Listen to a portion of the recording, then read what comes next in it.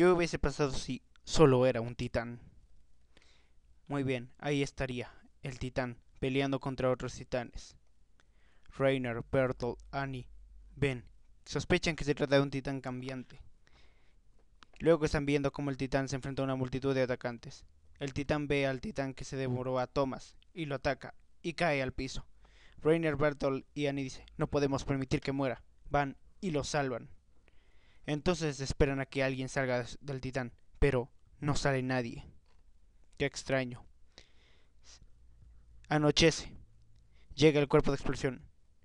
Entonces, Levi iba a matar al titán, pero Erwin dice, espera, Levi. ¿Qué pasa? Mira ese titán. Está matando a otros titanes. A ese titán se le apodó Rogue. Y así pasó hasta que se hizo de noche. Y como todos los titanes en la noche se puso a dormir. Entonces, cuando se puso a dormir, apareció el titán acorazado. Atacó a Rogue, le mordió la nuca y se lo llevó. Rainer, Bertolt y se quedan en un árbol afuera de la muralla rosa, esperando.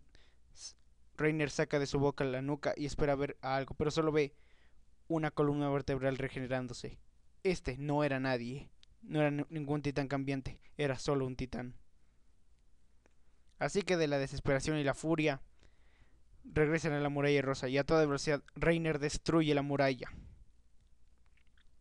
Y así pasaron. Los siete días pudieron, tuvieron más o menos estables en la muralla china los ciudadanos. Al séptimo día se acabaron las provisiones y entró en caos.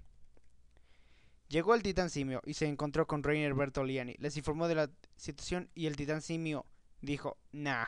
Así que convirtió al distrito sur de la muralla china en titanes e invadió las murallas hasta el punto en que literalmente ya no la población de la isla parádisis humana quedó cero.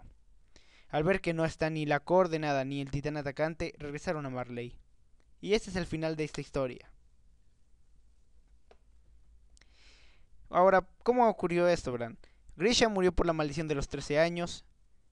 Y en esta realidad, sí existe eso de que uno se convierte en titán cuando le devoran y lo vomitan. En este caso, el titán que mataba a todos era Eren efectivamente, pero Eren no era un titán cambiante, sino un titán normal. Vómito de titán. Eso es todo. Muchas gracias.